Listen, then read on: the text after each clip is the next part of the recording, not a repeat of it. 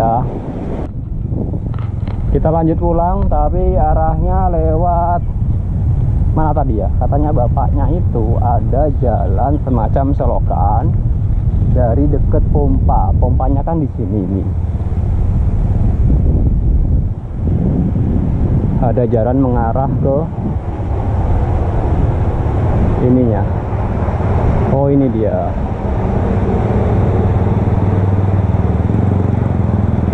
oh jalan ini. Ini dia. Kita naik tangga turun tangga dulu. Ini adalah jalan menuju lava bantal. Jadi kita lewat sini. Allah Akbar. Oh naik eh toto abot. Oke. wah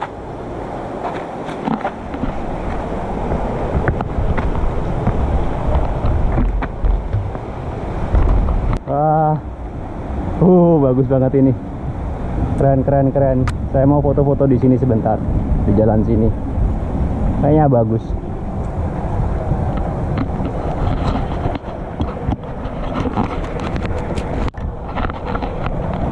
Wow jalannya seperti ini kita. Sebenarnya mau foto-foto di sini cuman nggak ada tempat buat yang proper buat naruh kamera karena saya nggak bawa tripod apa di sini aja ya? Ini ada tangga. Apa kita taruh sini aja ya? Buat foto-foto. Kayaknya bisa. Kita coba di sini. Kameranya kita taruh sini. Kita selesai ambil foto-fotonya. Kita melintasi sini lagi. Wah ini tuh kolam ikan kayaknya. Waduh ada bambu yang melintang. Ada bambu yang melintang oke. Kita angkat dulu sepedanya seperti biasa.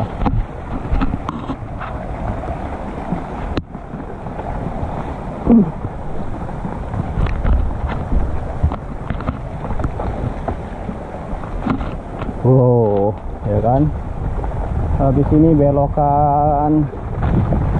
Enak banget ini. Jalannya sudah cor bagus wah bagus banget jalannya. Ini jalan alternatif ke lava bantal. Uh, uh, uh. banyak pohon-pohon yang melintang seperti ini jadi kita harus hati-hati. Oh di belakang kita tadi. Sisi kanan adalah kolam ikan. Sisi kiri ladang warga. Jadi mari kita melintas. Ini ada jembatannya. Wah.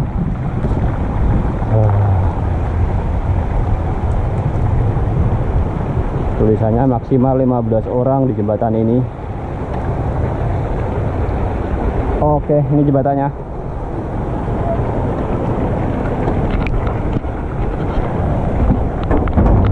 Kita sudah masuk jembatannya. Itu lava bantal. oh. Bagus banget lava bantal dari sini. Sepi banget tadi ya. Apa karena saya kesiangan? Ini jam 8 kurang seperempat. Sebentar saya berhenti dulu karena ini modenya berunda. Nah harus hati-hati. Iya. Oke. Nah ini lava bantalnya. Jadi bisa main ke lava bantal juga. Lama banget gak ke sini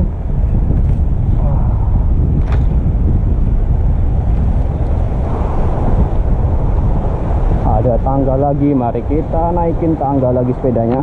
Lava Bantal itu salah satu destinasi buat tujuan pesepeda sebenarnya. Cuman sekarang ya karena antusias sepedanya mungkin tidak seramai dulu jadi tempat-tempat seperti ini mulai agak sepi. Ini bagus banget sebenarnya. Dulu ada jembatan kecilnya. Waduh kok banyak semut? Maaf semut maaf semut. Aduh.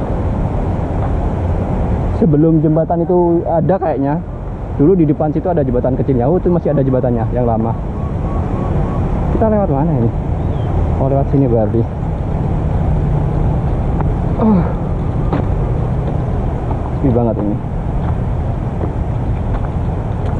Warung-warungnya pun tutup.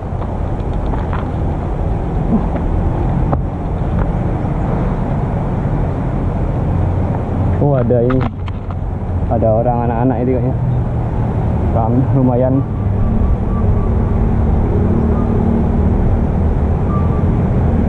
Kita santai di sini. Kayaknya mereka sedang belajar apa itu ya? Dijelasin sama pemandunya. Kita dulu bisa naik sepeda lewat sini. Tahun berapa saya tuh dulu lupa sebelum ada jembatan itu kita di sini. Foto-foto di sini oke. Kita masuk areanya keluar kita jalan besar itu ada yang sedang kayaknya piknik ke lava bantal. Edukasi tentang lokasi ini. Keterangan maksudnya bangunan apa-apa atau yang lainnya. Biasanya terkait bebatuan atau apa yang ada di sini